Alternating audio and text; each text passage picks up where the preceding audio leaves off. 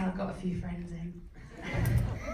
um, Richard can't be here. He's he's very sad that he can't make it. He, um, he's in Europe, but he sent me a few words to read out. Um, I know he'd be thrilled to see all of you in LA come along to see this little British film. So thank you for being here.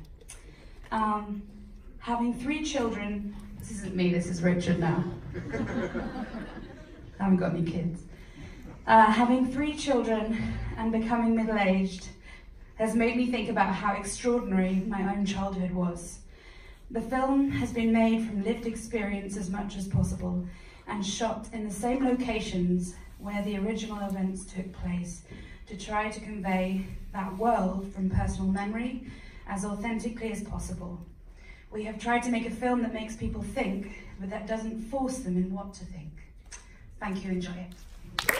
And we'll be back with Ella after the film for Q&A. Please do.